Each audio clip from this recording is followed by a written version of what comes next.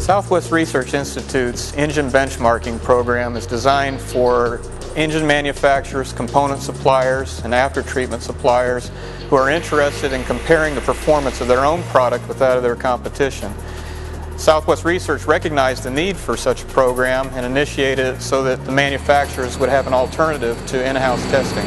The engine benchmarking program starts with a emissions evaluation using the standard certification test cycles.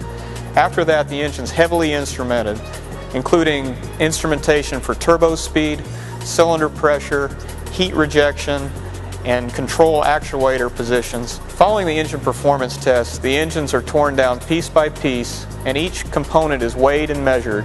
Test results are posted on a client web portal so that we can deliver results in the most timely manner. Several reports are also delivered in PDF format.